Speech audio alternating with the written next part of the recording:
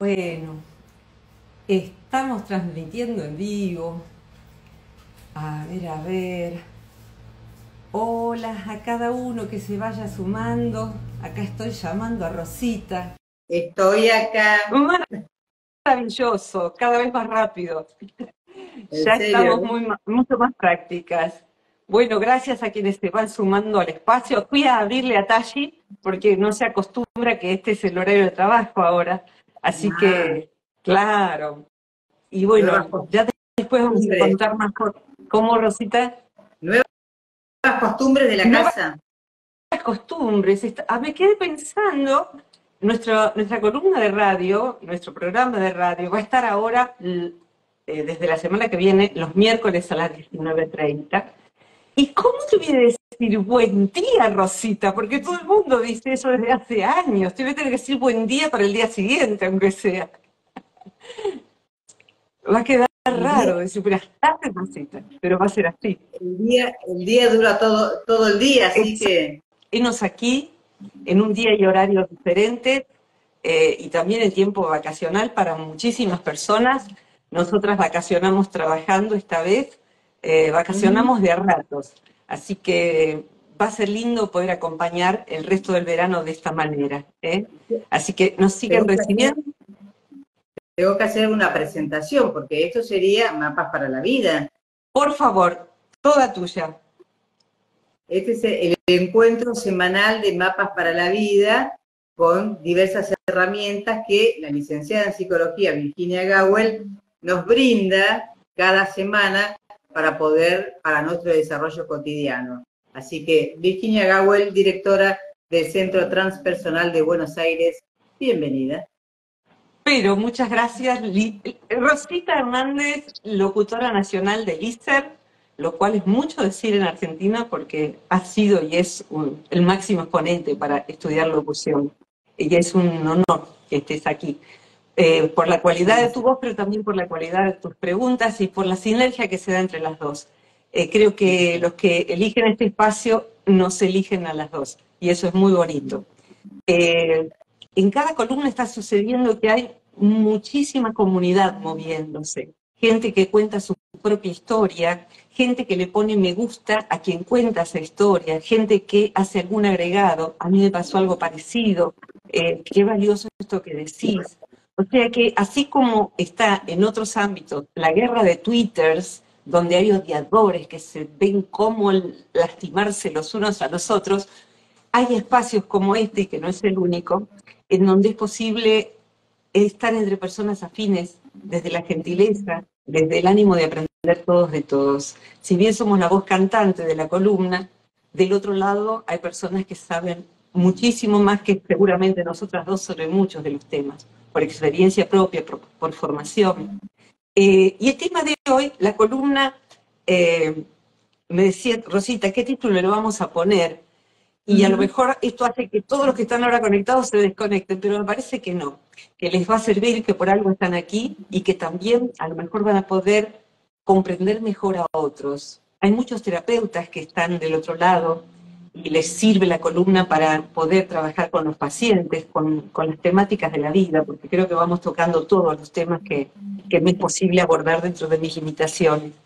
El enfoque que aplicamos en esta, en esta tarea, eh, de, mi parte, es la psicología transpersonal. Entonces, es una integración de Oriente y Occidente, pero aplicado muy concretamente, con pies en la tierra, sobre las problemáticas que nos tocan aquí y ahora, porque la espiritualidad se juega en todos los ámbitos y en el tema de hoy muy especialmente, eh, pero ya vamos a ver cómo. ¿Tenés el título por ahí, Rosita?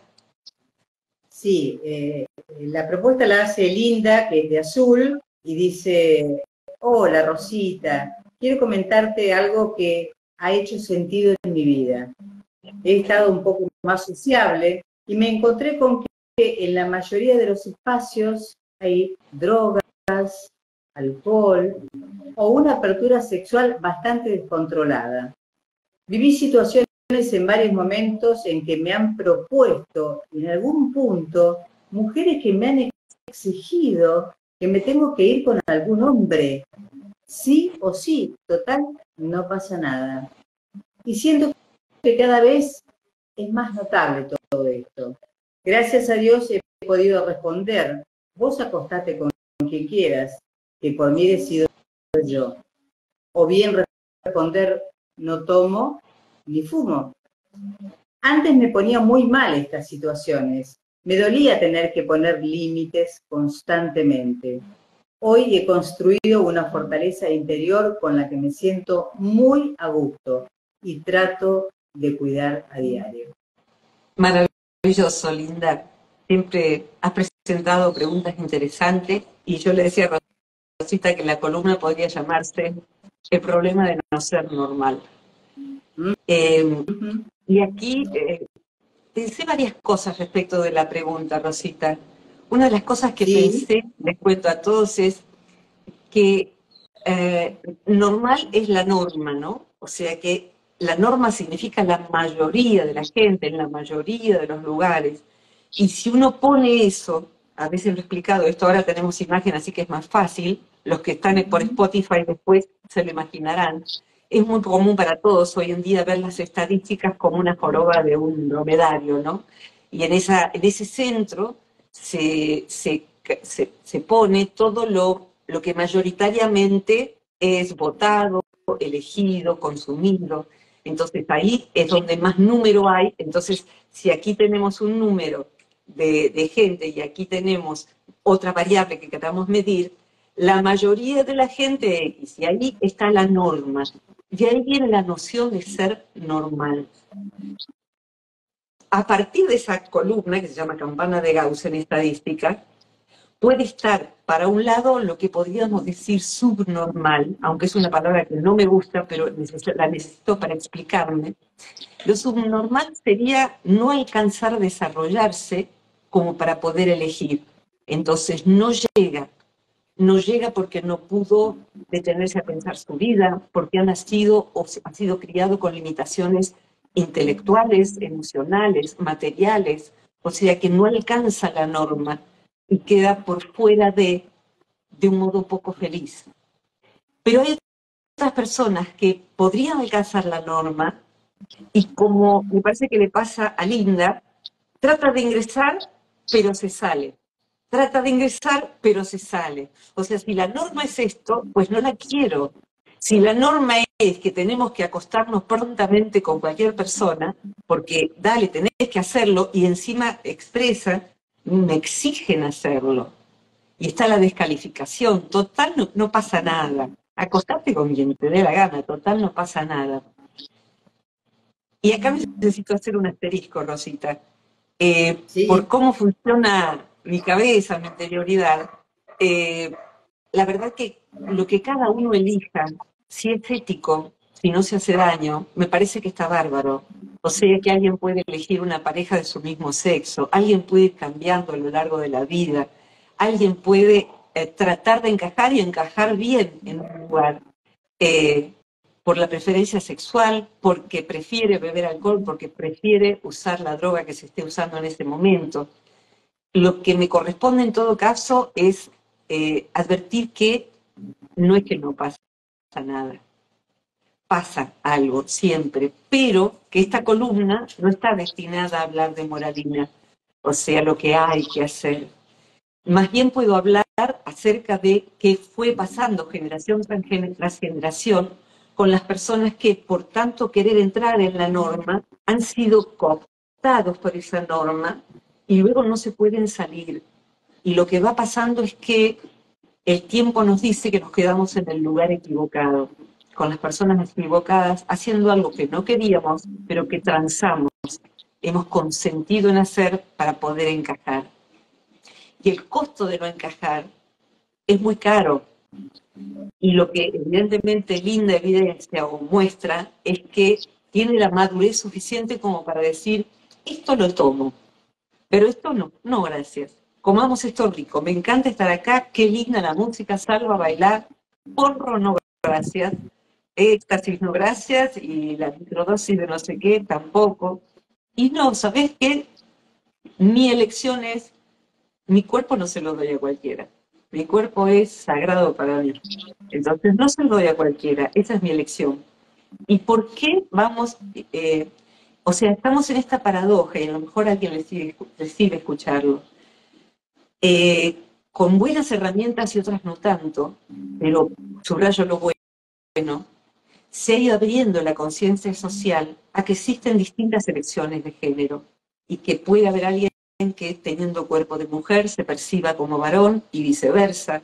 Eh, poder poner en un formulario masculino femenino eh, eh, no binario y que sea legítimo que esté esa opción.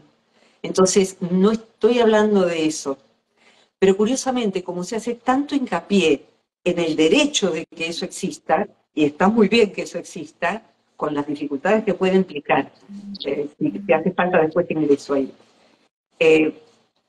se le ha dado espacio a la sexualidad per se, con quien sea, eh, al, poner en juego el cuerpo para consumir lo que otros consumen, sea alcohol, sea microdosis de ayahuasca o lo que fuere, porque está de moda, porque te hace bien, porque te abre la cabeza, porque la pasas bien, porque te relajas. Entonces, eh, y alguien dice, no, no quiero eso. La verdad, no lo paso bien, no es lo mío.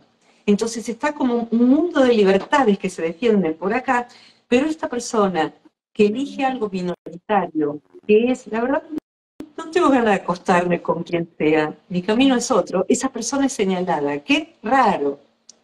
Y no es mojigata, no es tarada, no, sé, las cosas que se puedan decir.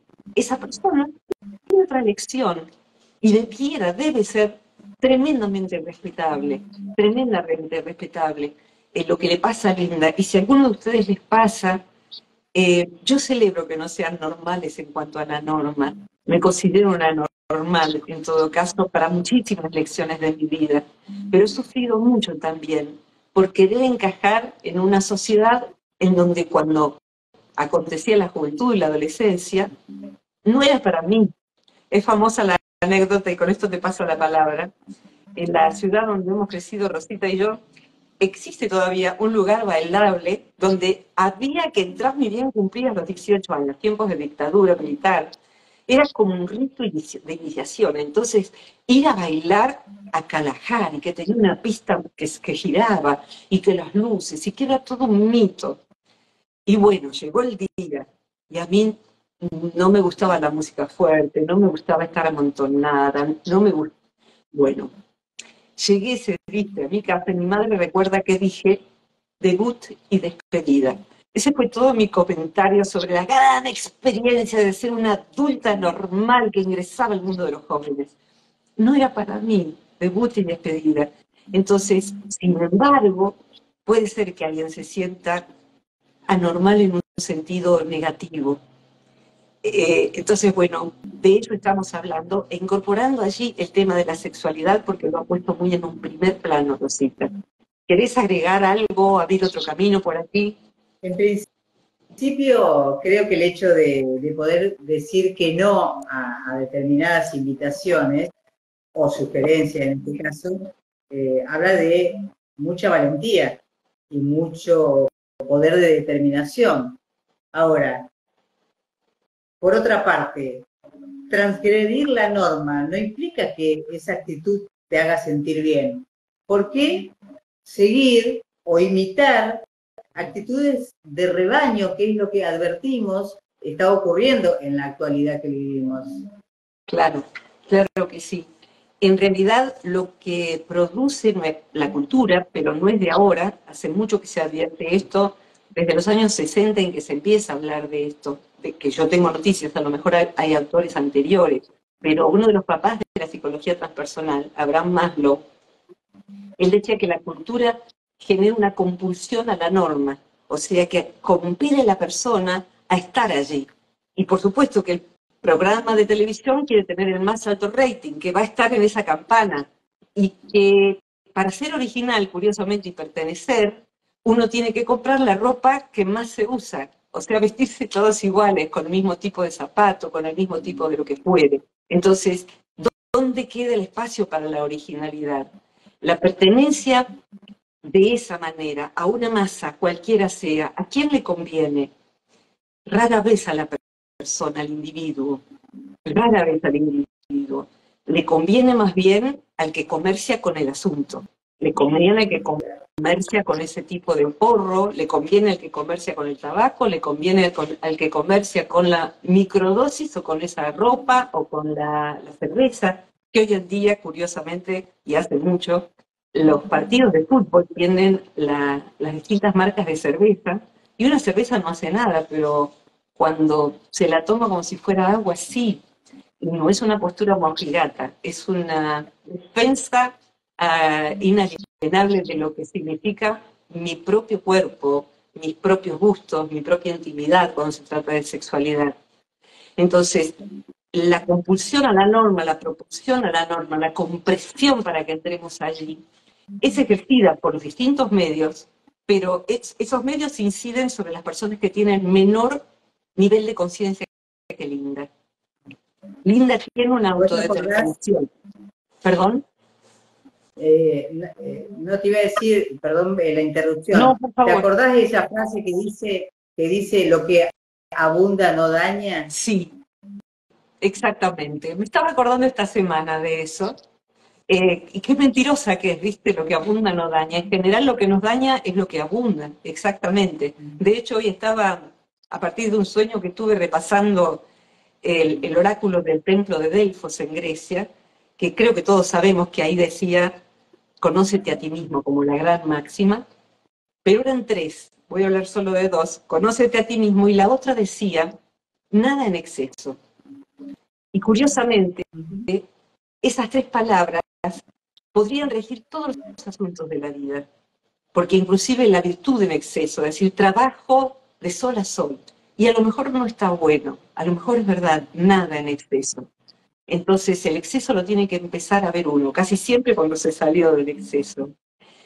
Cuando vemos a alguien atrapado en la campana de Gauss, que tejieron para que esa persona se vuelva un consumidor de eso que está en el promedio, la persona que está adentro no se da cuenta de que está atrapada, cree que es libre. Y esa es la idea máxima que se ha logrado comercializar. Sé libre, revelate, haz lo que te vendemos nosotros, nena. Este es el punto. Entonces, ese ser libre, que es un imperativo por otro lado, justamente está yendo de manera contraria a lo que significa la persona que ha decidido ser ella misma. La persona que dice, y yo quiero esto. Hoy me puse a buscar algo que no encontré, pero anda por allí dando vuelta, y encontré otra cosa que sí quiero mencionar. Lo que sí encontré, Linda, es buscando este tema de los grupos de jóvenes que han elegido conservar el celibato hasta que encuentren a la persona con la que quieran tener su primera relación sexual eh, con amor, elegir y no simplemente aparearse, digamos. Esa persona se, se siente circunscripta a un grupo en donde el amor y la sexualidad van juntos y no son menos modernos, no son menos, menos vivos, no son menos lo que fuere. Esa persona tiene esa elección. Y por supuesto que si vamos a respetar cualquier elección sexual, ¿cómo no vamos a respetar esa? ¿Cómo nos vamos a reír de esa? ¿Por qué esa mujer le exige? ¿A qué esa mujer no le exige a alguien que tiene una elección del mismo sexo que se acueste con alguien del sexo opuesto. Seguro que no se lo exige porque además es una desubicada. No lo está haciendo al compelir a Linda a que tenga relaciones sexuales, total no pasa nada. No te metas conmigo, imagina. Sería el modo sencillamente brutal de decírselo. Pero bueno, eh, con tu modo más civilizado. Pero al final es eso, eh, en el caso de Linda. Eh, o lo sería en el caso mío. Y alguien podría decir, no te metas con mi pene, o no te metas en mi cama, o no te metas en mi vida, es el genérico. ¿Por qué alguien se va a poder meter en eso que es mi elección? Entonces, el no ser normal, me acordé también de una película que se llama De cerca nadie es normal. Yo creo que no la vi, pero el, el nombre siempre lo recordé, porque cuando nos metemos en la vida de la persona que sí se divierte en un lugar así, o a lo mejor no, pero hace como que sí. Si nos acercamos hablar con esa persona, ¿quién es? ¿Qué siente? ¿Qué hizo eso? Y estaba por ir hacia la idea de lo que encontré, Linda, eh, que es que decía que en España, por esta presión social, las chicas eh, debutan cada vez más temprano. Hoy en día, siendo que en, la última, las últimas encuestas pre-pandemia, la edad de inicio sexual era de 15 años de las mujeres, eh, hoy en día es de 13 años. Y es muy difícil que una chica de 13 años tenga la madurez para poder decir yo quiero, yo no quiero, quiero con este chico, no, no quiero con este chico, quiero con este señor que tiene 30 años, porque las demás chicas tienen sexo, pero no sé si puedo, porque soy menor, pero soy menor porque siento hormonas, siento cosas. Entonces, estamos en problemas y somos de alguna manera corresponsables de eso, porque el sistema lo que hace es erotizar a los chicos mucho más tempranamente de lo que sería saludable, mucho más tempranamente de aquello para lo que, lo que están capacitados eh, madurativamente. Entonces, eh, el artículo terminaba un especialista en sexología, que yo no lo soy, que decía que los chicos de 15 años que ya tienen distintas experiencias, se las rifan a las chicas. O sea que tienen para elegir. Y yo digo, ¿y yo quiero estar dentro de la rifa si yo tuviera esa edad? O sea que eso es nada más que un número de sorteo. Entonces, el no ser normal, el poder elegir de otra manera, me hizo recordar, y voy a esto, Rosita y, eh, Linda, y no sé si querés agregar algo ahora, porque voy a ir hacia un pequeño poema. ¿Querés decir algo, Rosita, de, de, lo que vas enamorando vos? Dos, dos, este, dos, dos términos que tienen que ver con lo que vos venías comentando. Por un lado, que es muy difícil lograr la mesura, ¿no? O sea, siempre extralimitándose y es, difícil lograr la mesura. Y por otro lado, de esto que vos mencionabas, de la persona que adopta el compromiso del celibato hasta tanto sienta con quién va a tener sexo por determinación propia, ¿no? Ese compromiso eh, en algún momento lo puede cortar. O sea, claro. o sea, no es que sea un compromiso de por vida y vos firmaste un contrato y no podés este, romperlo en ningún momento. Por supuesto. Es más, podría ser que lo tomara, que desistiera de eso por algún momento y luego lo retomara, porque después de todo es dueña, dueño de su propia vida. Entonces, eh, ¿cuál es la ganancia de quien de quien elige cuándo y con quién eh, y desde cuándo. La ganancia que estaba leyendo otros artículos en la semana por otras razones, la ganancia que se pierde, quien se queda en la campana de Gauss viendo con quién y ya esta noche, eh, total no pasa nada, esa persona lo que se pierde es el preludio. Y posiblemente dentro de lo que es la sexualidad, eh, el enamoramiento inclusive, puede o no estar unido a, la, sexualidad al enamoramiento, pero el preludio es tan importante que vuelve inolvidable eso, vuelve inolvidable lo que pasa. O sea que se lo pospone a propósito, nos vamos conociendo, va pasando un juego, va viendo una danza, y a lo mejor en el quinto paso de la danza veo que el otro no tiene nada que ver conmigo, salí de acá, nada, no me llamen, no nada. O a lo mejor va progresando hacia, fíjate que los que somos amantes del cine, de la lectura, o en su momento de las telenovelas, o las novelas, las, que las hay todavía, eh, pero ya no se llaman telenovelas, creo, las series de amor, va pasando algo que impide el primer encuentro, que impide el primer beso. Y ese demorarse lo que va haciendo es que se van entonando los cuerpos y las energías de los dos. Va sucediendo algo que es un idioma callado del entretejimiento. Y en esa danza, cuando el sexo acontece, acontece como un corolario de algo que fue sucediendo.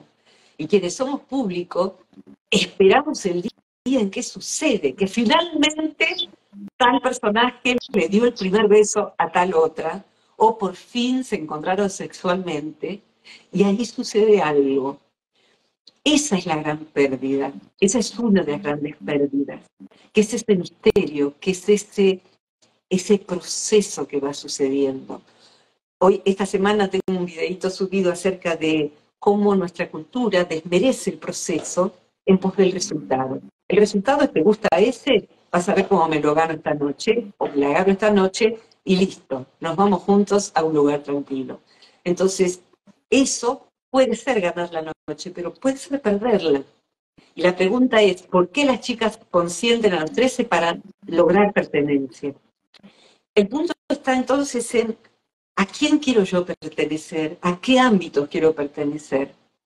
Y para eso, yo creo que Linda, para poder, no sé si dice la edad Linda, eh, para poder haber tejido ese reservorio y decir, sobre esto decido yo que es mi vida, que es mi cuerpo, debe tener una maduración que le permite hacer eso, que le permite hacer eso.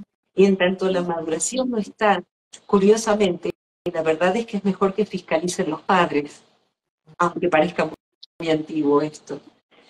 El dejar que los chicos tomen decisiones, inclusive tempranamente en, en la infancia, es cargar con un peso muy grande al chico, si quiere o no ir a la escuela, si quiere comer esto, lo otro, lo otro o lo otro, si quiere irse a dormir o más tarde. Eh, hay decisiones que necesitan ser tomadas por los padres, porque hay un gran desamparo en ser uno inmaduro, pequeño, muy joven, el decisor, de a dónde salgo, a qué hora vuelvo y demás. Y hay peligros que acechan que no tienen la capacidad todavía, todavía para poder determinar que estamos exponiéndonos al riesgo. Pero más allá del riesgo, está el riesgo de perder la individualidad sumidos en el rebaño. Y cada uno sabe si quiere pertenecer a un determinado rebaño. Lo que encontré yo fue que había dentro del gran rebaño, en los bordes de la campana de Gauss, muchas otras pertenencias. Y encontré porque la vida me lo ofreció, la pertenencia a un grupo de chicos y chicas más grandes que yo, que eran universitarios, yo tenía 16 años, que me invitaron a formar parte de una revista, a hacer una revista entre todos. Yo escribía poesía en aquel momento, encontraron un poema mío, me invitaron y yo era la nena. Y por mucho tiempo fui la nena. Todavía para algunos soy la nena. Entonces, para mí era la maravilla, porque apareció Serrat, porque aparecieron cantantes que yo no conocía, porque aparecieron poemas que yo no conocía, y libros y cosas, y la feria del libro que yo nunca había ido, y teatro. Entonces, tuve pertenencia, pero en un lugar donde yo no tenía que consumir nada, ni se me pedía que yo no fuera quien soy grande, luminoso. No se me pedía que yo no fuera quien soy, que me afiliara a un partido, no se me pedía nada, que creyera en determinada cosa. Esa pertenencia de tanta libertad y de tanta riqueza, y de quedarse hasta la madrugada comiendo empanadas, tocando la guitarra y cantando, y leyendo poemas en voz alta, bendigo esa parte de mi adolescencia. Entonces, creo que hay que buscar en dónde uno puede encontrar pertenencias que no nos ofendan a la esencia, que no nos hagan traicionarnos a nosotros mismos. Entonces, Linda, creo que ese, ese reservorio que vos fuiste generando para proteger tu identidad, está bárbaro que nos compartas aquí porque nos das la posibilidad de que quien siente eso o quien tiene un paciente que funciona así o quien quiera leer algo de esto, por ayudar a encontrar, yo desarrollo todo este concepto bajo un nombre que es inadecuación esencial. Si ponen en Google van a encontrar bastante sobre esto, eh, que es, una figura, el, el complejo de inadecuación esencial, la persona que no encaja en el mundo más general. Y agregaría una cosita y si querés después voy al poema para ir redondeando mi parte y después te dejo a vos. Tal cual. Eh, te dejo eh, en este momento hay también una, para la persona que inocentemente busca espiritualidad, que busca cultura, que busca eso, la unión desde la esencia, el hambre de contacto genuino, el hambre de pertenecer a algo que mejore el mundo, o simplemente estar con otros, que nos caigan bien, que nos gusten y que yo sea apreciada por ellos. Esa persona, la que siente eso, está sintiendo algo muy sano, pero alguien toma eso sano y le dice, mira, ¿sabes qué? Con esto te vuela la cabeza. Es una microdosis, ya hablaré de esto más extensamente. Hoy en día están las sustancias psicotrópicas para poder tener experiencias espirituales. Llámesele ayahuasca, éxtasis, lo que fuere. Y aquí tampoco soy antigua. Creo que en ninguna cosa soy una mujer anticuada, por lo menos todavía. Eh, tengo la mente lo más abierta que he podido, pero desde la práctica clínica uno ve las consecuencias de eso que se vende como inocente. Hay usos clínicos de ciertas sustancias, por ejemplo, con, pacientes terminales, pero que eso pueda cualquier persona darme a mí la microdosis para que yo tome o invitarme a un a encuentro de sanación a través de plantas sagradas. Cuidado con eso, cuidado con eso, porque uno sabe que abre una puerta, sí, pero anda a saber qué entra por allí. Y yo he tenido pacientes y he supervisado colegas que no saben qué hacer con su paciente que fue a alguno de estos encuentros y después no sabe cómo volver a armar su persona. Entonces, no, no es gratis para nuestro psiquismo. Entonces, decir, dentro de esas decisiones, lo mío fue, si yo voy a tener una experiencia, la voy a ganar como mi plata, trabajando. Este es mi, esta es mi postura. Y si no voy a tener la experiencia trabajando sobre mí, será que no estoy todavía en condiciones de tener esta experiencia. Y somos muchísimos quienes vemos la, espiritualidad, eh, la sensibilidad desde esa mirada. Así que este sería un modo de verlo. Rosita, ¿querés al respecto decir algo? Sí, simplemente que con respecto a, en relación a lo que plantea Linda, digo, eh, tomar decisiones por sí mismo y por su propio discernimiento cuesta, pero en algún momento, como lo logró Linda, se puede. O sea, dejar de tomar actitudes de rebaño, como dijiste hace un momento, para comenzar a determinarnos, a ver qué es lo que queremos para nuestra vida si esto me hace bien, si esto no me hace bien, a ver, evaluar qué es lo que estoy haciendo y en todo caso salirme de eso que sé que me está haciendo daño. Exactamente. Y tal vez esto que eh, no haya nadie que esté presente o que escuche en diferido que no le quepa. Eh, en aquello que sentimos como nuestra interioridad y nuestra brújula, para poder seguirla requiere de una fortaleza que eh, lo que Lina describe lo resumiría como la capacidad de tener fuerza para ser rechazado. O sea, ok, me expongo a ser rechazada, pero sigo siendo yo. Y si el rechazo es total, pues me corro. No voy a cambiar mis decisiones para no ser rechazada. Eso es una fortaleza espiritual más que psicológica, no solo psicológica. Poder decir, aunque esté equivocada, voy a elegir esto y no sos quien para cambiarme a mí mi decisión, porque esto es lo que elijo para mi vida. Decía de un poema, Rosita, que es largo como para leerlo todo, es un poema de, de aquella etapa y que describe cómo yo me sentía en esa soledad y cómo yo empecé a ver que otros eran igual de no normales como yo. Entonces, se llama convocatoria. Hoy lo escribiría de otra manera. Y dice, ¿desde dónde hilarán la tal urdimbre que me anuda a la red de esos humanos? Ellos comen y beben bulliciosos. Yo elaboro quietudes y silencios. Ellos acopian, consumen, se atosigan. Yo elijo lo frugal para mi viaje. Ellos construyen urbanas madrigueras. Yo me guarezco bajo el cielo abierto. Ellos se venden imágenes y rangos. Yo abjuro de mis múltiples disfraces. Ellos se esconden, negocian, manipulan. Yo autentico mi lacra y mi nobleza. Ellos se afanan por llegar primero. Yo me cojo de hombros y me aparto. Ellos saben, opinan, interrumpen. Yo me impacto ante mi propia ignorancia. Ellos celebran patéticas tertulias ante la lumbre de sus televisores. Yo me vuelvo infante y extasiada, danzando crepitante junto al fuego. Ellos copulan inciertos genitales. Yo insisto en aparearme amadamente. No es mejor ni peor, es una elección. Entonces, digo al final, que como yo, sensitivo y huraño, inerme, exonerado, vulnerable, extraño y extrañante, desvivido por desmorir y aliarse con la vida. ¿Quién, extranjero de todas las naciones, excomulgado y rehuido por los otros, escéptico de enuncios y de dogmas, torpe en los códigos de usos y costumbres?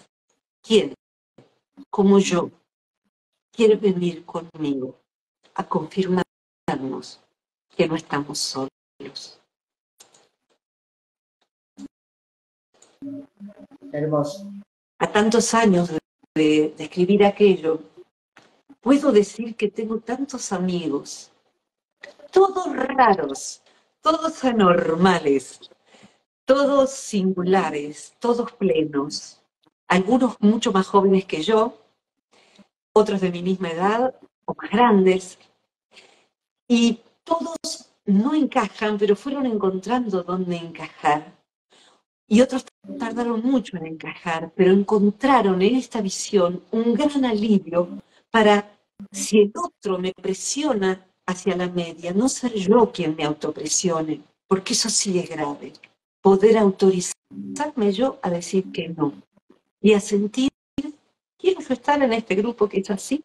Entonces, a lo mejor Linda, encontrarás tu grupo de pertenencia en gente que le interesa tomar, vos que vivís en, el, interior de, la provincia de Buenos Aires, bueno, cada tanto hay un grupo que va a Buenos Aires a ver teatro y después se hace debate de lo que se vio, o un grupo que le interesa la historia del arte, o un grupo que le interesa el voluntariado, por ir a estudiar los pájaros. Estoy recordando ahora qué hacían pacientes queridos y mis amigos que hacen biodanza o eh, fundar algo decir entre todos, hoy he estado juntando basura.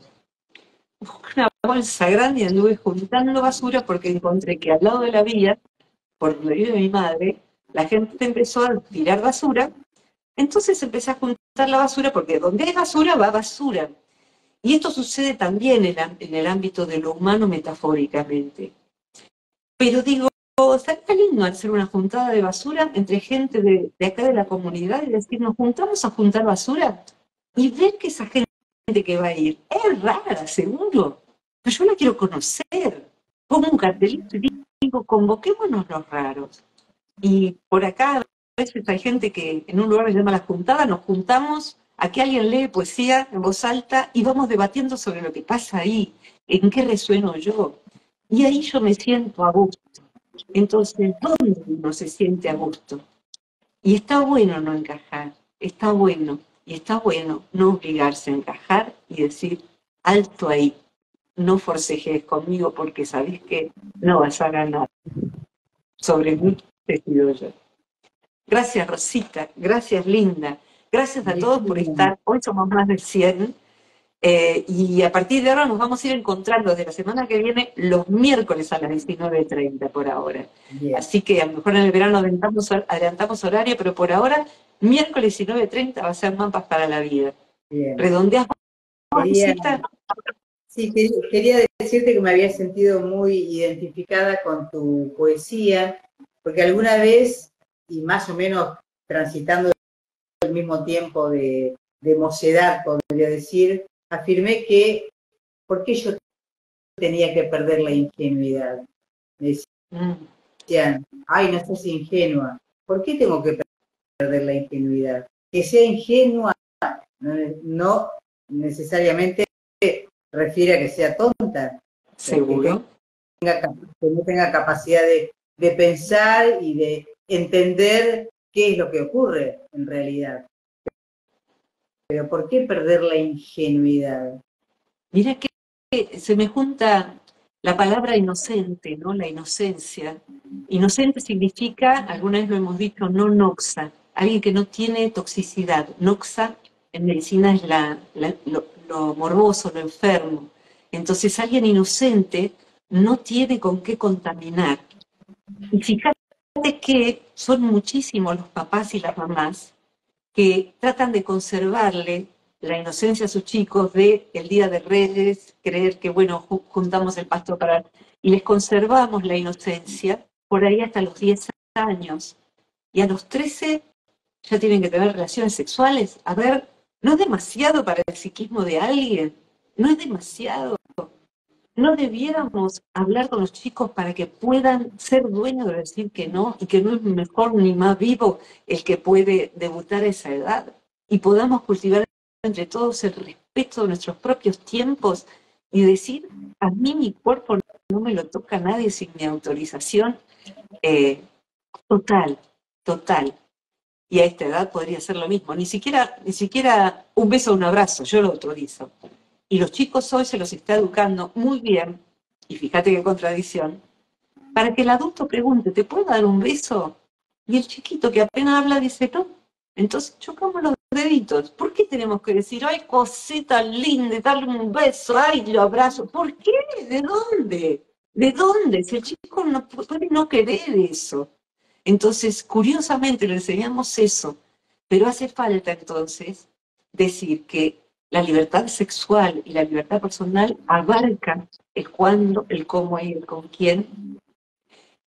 Y también quiero decir esto, alguna vez lo desarrollaremos, respecto de esta eh, iniciación precoz en las decisiones de los chicos y en las decisiones sexuales. Tenemos que saber que es normal, pero ahora en el sentido médico y psicológico, es normal, es saludable, está dentro de lo esperable que cualquiera de nosotros en el desarrollo de nuestra identidad, de al rato nos autopercibamos de un género distinto del que tenemos. Es totalmente normal que alguien lo sienta, pero eso puede ser transitorio.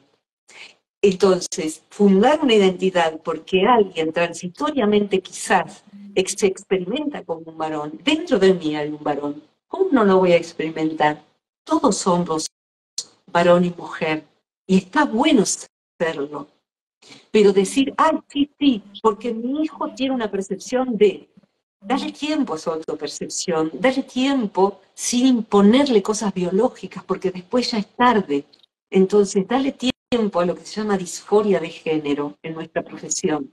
Y al psicólogo, démosle también la posibilidad de decirnos que eso es normal, que no es una visión anticuada, porque a veces cuando el psicólogo dice, eso es normal, dale tiempo, no apures lo biológico, no operes, no inyectes hormonas, dale tiempo, dale tiempo, porque para eso va a haber tiempo después eventualmente. Eh, se parece que eso es una visión antigua de la psicología. No, no, no, no, no, no, no, no estemos tan desinformados. Rosita, ¿qué tema para esta hora? Gracias, Rosita. gracias a todos los que nos acompañan y gracias porque vamos a seguir estando. Esto queda ahora en un ratito subido eh, a, Instagram. En el fin de semana, Dante Rodríguez Ragazzini lo sube a YouTube, donde también van a poder verlo. Y van a tenerlo también en eh, Spotify la semana que viene, que eso lo hace Mario Milagüe, mi hermano, que edita el sonido de Mapas para la Vida. Así que, Rosita. ¿Querés que recuerde el número de teléfono para contactarse. Por favor. Es el más, más 549 2323 526497. Perfecto. Ahí pueden escribir a ese WhatsApp eh, pidiendo algún tema eh, que todavía no hayamos tratado y hay 500 columnas en YouTube y en Spotify. Así que por ahí encuentran allí lo que todavía parece que no hemos hablado, pero sí lo hablamos pero siempre aparece algo nuevo porque somos tan múltiples los humanos. Gracias, Linda, por tu pregunta, gracias a quienes están aquí y gracias a quienes se expresen porque yo leo todo, contesto todo siempre. Por ahora es así. Eh, aunque sean 200 mensajes, leo y contesto y va a estar así todo el fin de semana. Hasta la próxima. Te abrazo, Rob. Hasta la próxima. Gracias, Virginia. Gracias. Hasta la próxima. Gracias, a todos.